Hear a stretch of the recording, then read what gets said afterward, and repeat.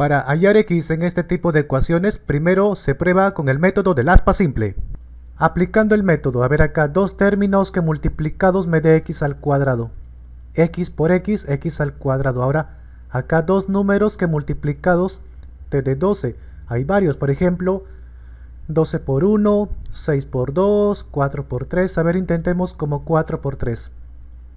Ahora acá, eh, dos signos que multiplicados te dé más. Podría ser más por más o menos por menos. ¿Cuál me conviene?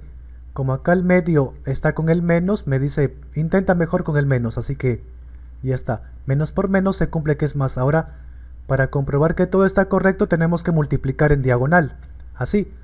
x por menos 3 menos 3x, x por menos 4, menos 4x, menos 3 menos 4 sería menos 7x, ya está.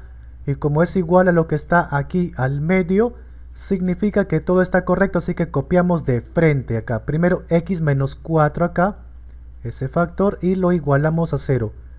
O, ahora este es, o, ahora el segundo factor x menos 3 también lo igualamos a 0 porque así dice, ¿verdad?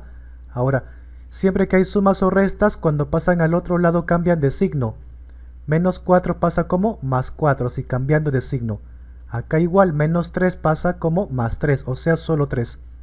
Dos respuestas. Si no encuentran los números, aquí en las pantallas finales hay ejemplos de qué hacer en esos casos.